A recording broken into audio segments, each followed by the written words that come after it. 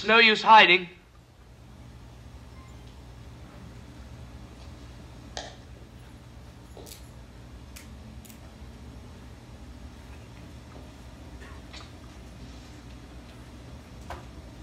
I know who you are.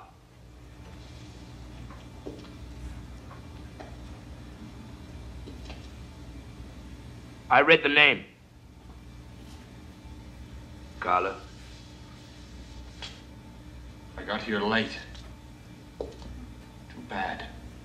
So now what are you gonna do? Kill you. I'm sorry, because I like you. But I have to kill you.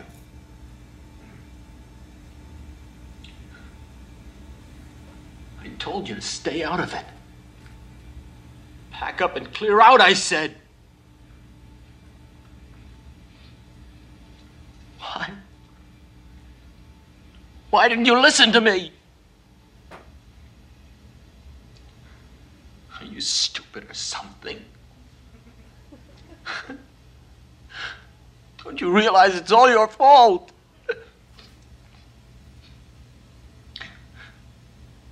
You're just so damn stubborn. If you hadn't meddled.